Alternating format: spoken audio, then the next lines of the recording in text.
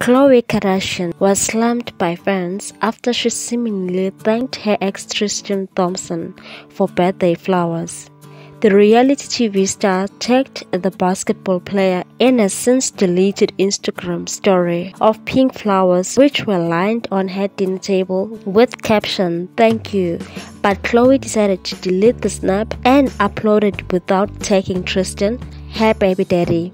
Fans quickly took screenshot of the story, which was later posted on Reddit as per The Sun, while users speculated that the duo is back together. Following Tristan's paternity scandal, one fan commented and said she does this every time. She aces everyone into trash can with whatever gift he got her before she comes out publicly with him. They are together, just give it some time. Clearly she does not learn and I'm done feeling bad for her at this point. Well, wait a minute, I thought she was happy with her new mystery man.